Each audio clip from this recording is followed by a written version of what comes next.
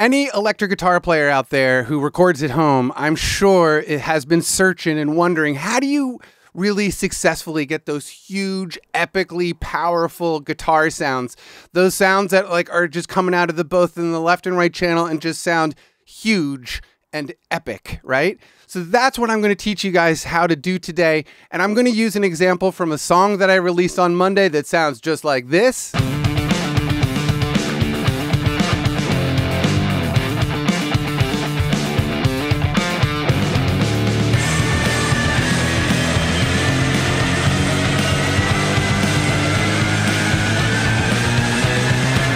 And that's what we're going to talk about today. So, you're watching GarageBand and Beyond, YouTube's longest running home recording tutorial and equipment review channel. I'm really glad you guys decided to stop by and watch this video because you're going to learn something pretty awesome today.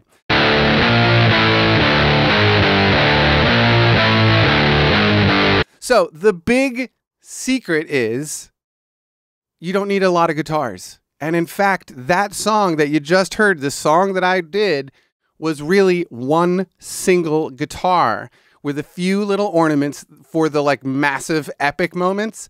Um, but beyond that, it was the the guitar part was one single guitar, and there was one stock GarageBand plugin that I love using, and we're going to talk about that. So let's look at the project file here. This right here is the guitar track, and I'm just going to solo this out for you and listen to it.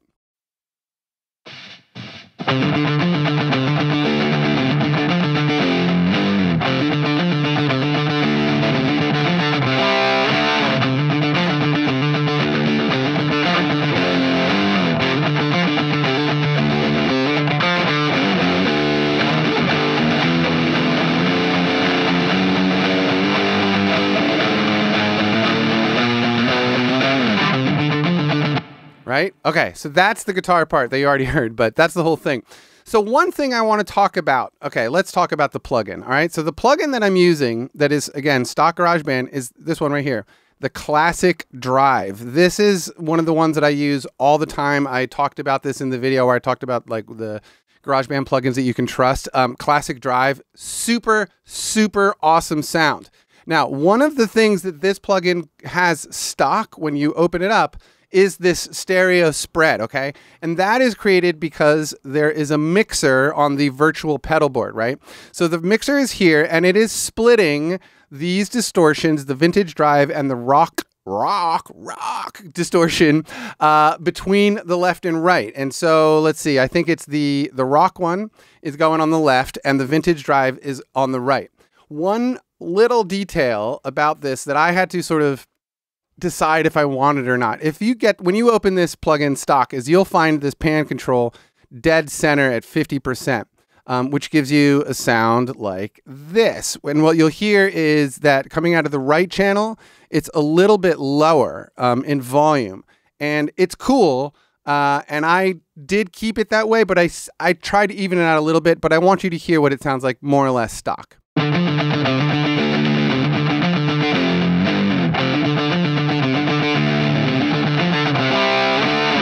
Right? So, you know, basically the right side, or sorry, the left side is a little bit quieter. That's what I meant to say earlier. The left side is a little bit quieter. So, what I did was um, just roll it a little bit in the direction of the left, 5%. I mean, not a huge difference, just to sort of eliminate, not eliminate, but just to help balance that a little bit better. Still leaving the left signal a little bit hotter. I mean, if you look at it on the meter while it runs, uh, watch.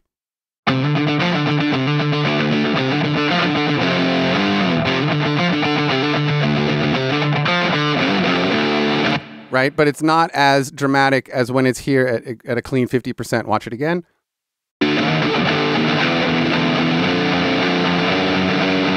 Let's go back to that same part.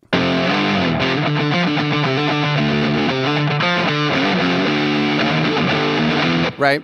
It's a minimal minimal difference, but I did want to mention it that I did sort of just spread this uh, or it did slightly even it out um, in the whole mix with all the vocals and things going, I started being like, why is the guitar uh, like so left heavy or yeah, right heavy? I can't, I'm getting a little confused. Left heavy.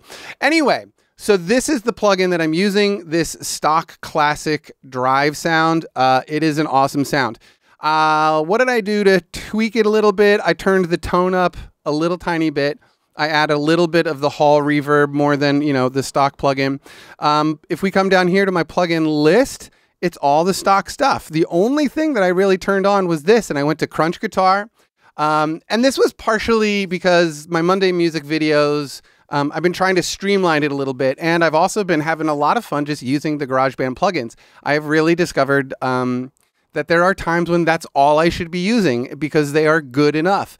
I've said it a thousand times on this channel. Like the more and more you tweak and the more and more you mess with these sounds, the worse they get. And I was guilty of that, and I am still guilty of that sometimes. Sometimes I know exactly what I'm going for, and when I'm searching for sounds, um, that's when I tend to sort of screw stuff up. Like I'm like trying to tweak too much of these stock sounds.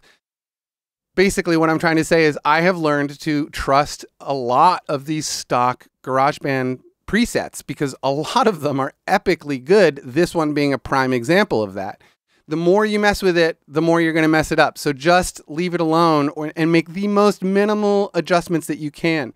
If it doesn't sound right to you, well, then you need to comprehend that um, you might need to readjust the way you hear things because these plugins are spot on. The drums mixes are spot on, all sorts of stuff spot on. Okay. So that was basically the bulk of it. Now, of course, precision playing, this is a ton of 16th notes. Da da da da da da da da da da da da.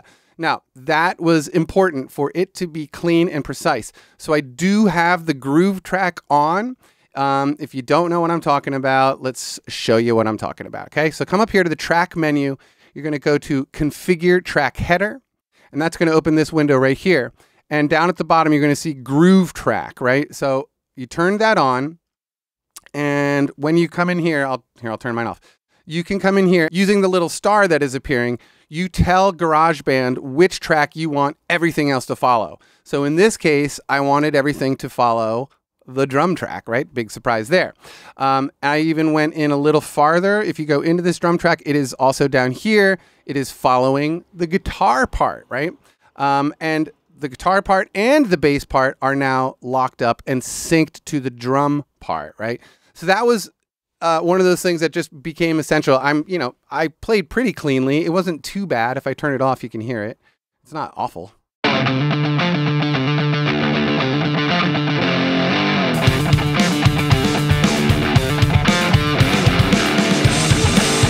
Right. It, it, it wasn't too bad, but I wanted it to be like dead, dead on. So I used the groove matcher and it just sort of snapped it all to the grid and it was awesome. Um, yeah, so that that is also a component of making the guitar parts like just sound like, you know, like a machine gun. That's kind of the sound I was going for. I just really wanted it to be like powerful and angsty and angry and all that kind of stuff, you know? Um, okay, so that's the rhythm guitar part. On the bass, another stock plugin from GarageBand, Crunch Cab. We're going to listen to that all by itself.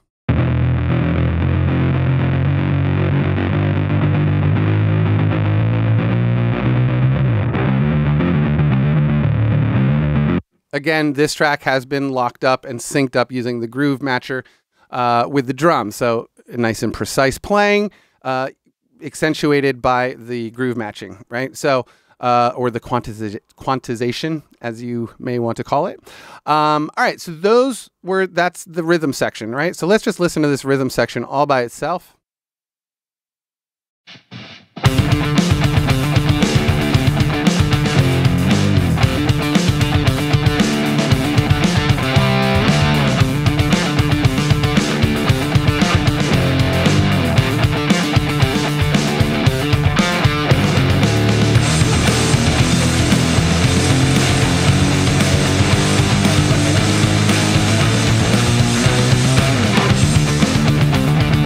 Right? Ah, I mean, I'm pretty proud of this song, you guys, considering I wrote it Monday morning, recorded it midday on same day, Monday, and then was mixing it, editing, all that. It's these are one day productions. If you don't know, check out my Monday music videos.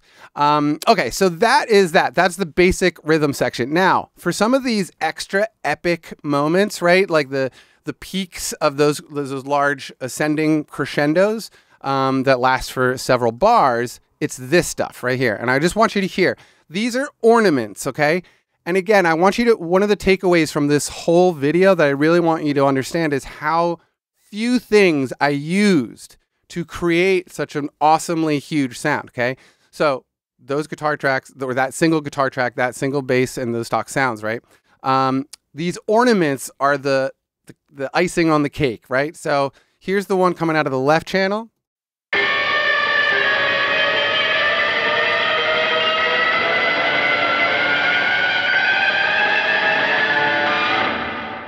Right? Dirty. It was dirty. It was angry. I was um, just bending a note. Like I, I started on the root note, and I was like, you know, 16th notes here. And I was just like, just slowly and relatively inaccurately just climbing up the neck until I got to that high, that high D, right? Um, I think it's D. Yeah, it's D. So, uh, so the, that high D. Okay. So again, it was not that clean and it was a lot of bending. It was supposed to sound crazy, right? So I didn't want to play it too cleanly because that wouldn't have been good. Uh, this is the other one. This one's a little bit more clean, okay? So I didn't want to go too heavy on the chaos, but um, when you combine them, it's chaotic. But this is the other side, and this is octaves.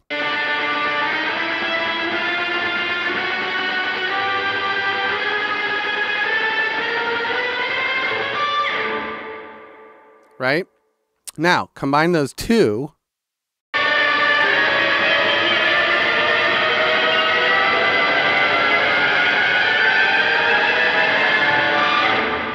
Right? I mean, makes me, gives me the chills, man. It totally does. It like really does. It's epic. All together, here you go.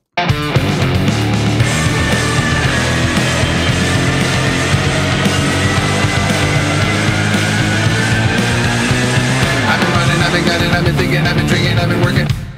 That's it, you guys. I mean, that is literally five tracks. And and the, the bulk of the music is three simple tracks. So you know, I think when I finished this song and it was all said and done, and I sat back and I listened to it, I was like, man, I can't believe that it, you know, I, I haven't taken my own advice on a lot of the songs I've released over the last few months. Um, you know, the last heavy one, there were dual guitars, I believe, like doing a left and right guitar thing. And now I kind of wish that I hadn't. Um, this one single guitar coming out of this classic drive sound, it has that big left and right sound with two sounds coming out of each side, you know, because there's two different distortion pedals. Um, it totally works. And it's just, it was the thing that made this song have that really huge guitar sound.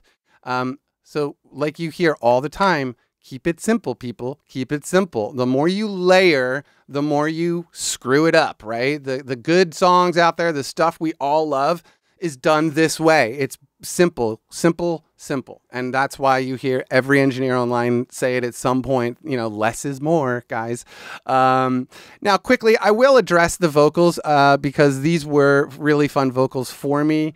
Um, these, I've never sung anything so quickly before and um, you know, this is what they sound like. I've been running, I've been gunning, I've been thinking, I've been drinking, I've been working, I've been lurking, and I gave up. I've been breaking, I've been shaking, I've been toying with destroying. Every morning there's a warning, and I break down. So, um, one of the things in there that makes it cool, I think, is the two lead vocals are right here, and they are panned 15 plus and minus. Oops, I moved it, but um, negative 15. Um, but anyway, they are panned slightly to the left and right, so you get a nice stereo vocal sound. This is the first time I had to do it, just so you are aware. Um, it wasn't easy. I didn't exactly know where to breathe like when I first started singing this song. So I actually did record this verse by verse by verse. I had just written the words, I didn't have them memorized yet. Uh, I hadn't learned where the breathing spots were yet. Uh, so above it, you can see this is a take from later in the day after I had sort of mentally digested the lyrics a little bit. And so you can see that they do span all of the you know the whole verse before you get to the chorus. Um, but that's because you know uh, later in the day I was like, oh, those vocals should be doubled. And then at some point, I I actually accidentally panned them left and right by I thought they were backup vocals or something, and I was like, oh wait, that's way better having them slightly left and right like that. It gives you that sort of you know that Foo Fighters LA production style. Um, I thought that was worth mentioning. Last thing I want to talk about is the vocals. Uh, is a, bit of music stuff. Okay, so this is what they call contrary motion, um, and what you'll hear is the guitar part is ascending, but the vocal lines in the harmonies are descending. Right. So just take a note of this mentally. Just contrary motion is one of those really cool things you can use in music to help create a lot of tension and release. Uh, that's what I was going for here. So here's the tension part in the chorus. You're listening to the music going up, vocals going down. I've got the time to make this new thing happen. I've got a fire burning up inside of me. Right? I mean, let's solo those vocals just so you can hear them. Got the time to make this new thing happen. I've got a fire burning up inside of me. Right? So those are going down, and obviously that guitar part is going up, right?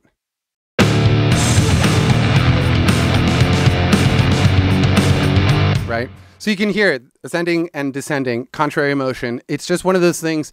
If you find a moment in your song to add some contrary motion, you might give it a shot because it's one of those really easy things to come up with that really makes any you know simple song will just sound a little bit more uh, mature and a little bit more sophisticated let's say that it's, it's just it's a really easy thing to do and i thought it would be worth mentioning in this video so again you guys long story short don't use too many guitars if you're trying to get an epically huge guitar sound one two maximum um, and that's for the rhythm guitars. Keep it simple. I really, right now, I think I'm just going to keep going with the one guitar thing because that seems to be working well. The ornaments, when you need them to be there, use them. You know, come up with some high part or whatever it may be, but come up with something in the strategic moment where you need a build, where you need, you know, something new to happen, a new musical element to be introduced into the song. Um, use those moments when you have them but don't overdo it right? There's too much of a good thing. You want to you want that to stand out. You want those little ornaments to stand out. You don't want them to be like if i'd done that everywhere it would have been boring by the time you got to one minute. You'd be like there's too much chaos all the time right? Um, but when it comes in in that moment it's just you know it is what it is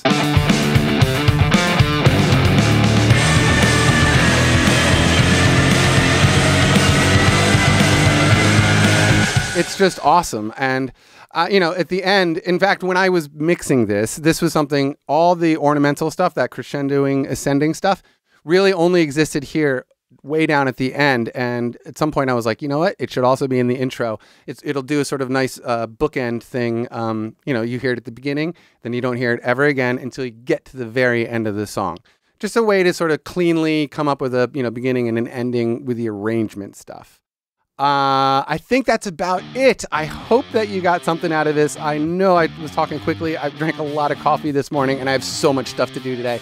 So I really wanted to crank this out. But you guys, I'm going to NAMM. I'm leaving for the NAMM show uh, tomorrow afternoon. I'm heading to California. I'm going to go meet up with our good friend Marty Schwartz and a bunch of really cool people. Uh, I think I'm going to meet Justin Sandercoe and uh, have a meeting, you know, like with a big group of YouTubers and uh, all the companies that you've seen me deal with, plus some new companies that I'm going to go out there and uh, try to, you know, romance a little bit so I can get some new equipment, new guitars and stuff into my studio here to review for you guys. Like I said before, I have been doing this longer than anyone on YouTube. No one out there has had a YouTube channel that has consistently made equipment reviews and recording tutorials longer than me. I've been doing this longer than anyone. So I'm proud of that fact, man. I'm really proud of that fact. And, you know, I've seen other channels come up um, over the years and they've, you know, they're doing better than me now. I'm not going to, I'm not going to lie. It's, it's been interesting to watch as somebody who sort of was at the very beginning of the whole YouTube thing.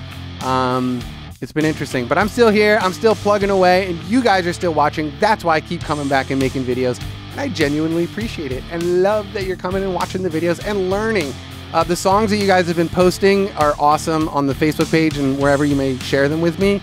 I'm genuinely impressed with how we've all, you know, been able to work together through this medium. It's been pretty awesome for me to hear your guys' recordings improve because of the tutorials that I make. That is exactly why I make these tutorials uh, to educate people that GarageBand is totally awesome. You can absolutely, positively make professional sounding recordings with it, um, and that's that's the end. Okay, you guys.